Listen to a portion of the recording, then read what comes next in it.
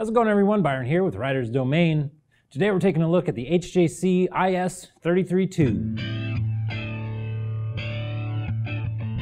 Now the IS332 is a pretty sophisticated open face helmet that starts around 150 bucks. The outer shell is an advanced polycarbonate composite material and in total this extra large example we have here weighs out at 3 pounds 4 ounces. One of the nice touches of the 33.2 is this optically correct face shield out here. As you can see, uh, it's nice and big. Now, in addition to keeping you protected from bugs and rocks and stuff like that, uh, this shield is going to keep you protected from about 95% of UV rays. And if you want to upgrade to a different tint, HJC has a lot of different options available.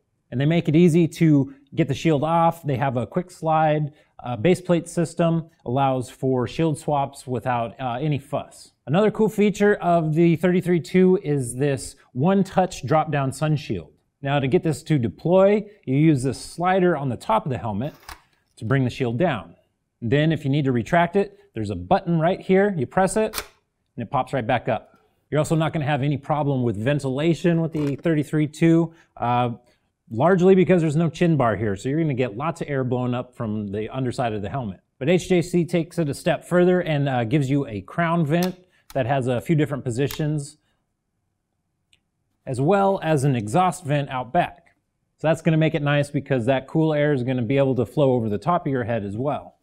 And then if we take a look inside, there's a silver cool liner it's moisture wicking and antibacterial, and you can remove that, wash it if things get a little bit too funky in there. Another nice thing is if the cheek pads and crown liner as they come aren't quite right for you, HJC has lots of different sizes available that will fit inside the 33.2. And if you want to ditch the face shield altogether and go full open face, uh, HJC does provide a detachable peak visor at purchase. So we've got an extra large example here today. That's my usual size, so I'm going to pop this on and see how it feels.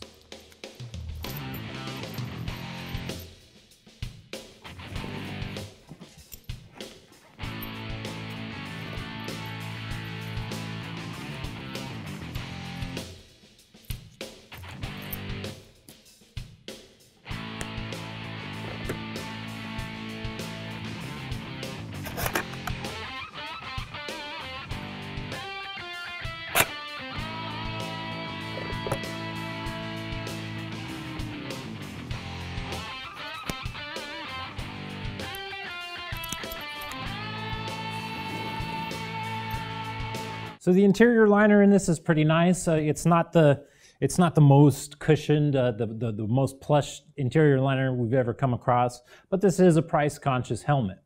I'm a long oval head shape, uh, and the fit wasn't quite right for me. There was just a little bit of space up here where the, the crown liner wasn't making contact with my head. But for you intermediate oval, round oval folks out there, you know, the, the fit on this is likely to be pretty good. And it didn't seem like too much of a fuss to find the slider for the drop-down sunshield either. It might take a little bit of getting used to, especially if you are more accustomed to the placement on the left-hand side that most drop-down sunshield helmets have. But all in all, if you're looking for a, an open-faced helmet that, that gives you some options, the IS-33-2 uh, seems to be a pretty good value. I can personally attest to the fact that having a face shield on an open face helmet like this uh, can be a lifesaver. There was one particular occasion I was out in a, in a lid similar to this one, and I could see the rock kick up from the back tire of the car in front of me, come straight at my eye, and if it wasn't for this, man, I'd have been having a real bad day. But how about you? You know, if you're in the market for an open face helmet, I mean, do you want to deal with this face shield at all, or, or are you looking for that,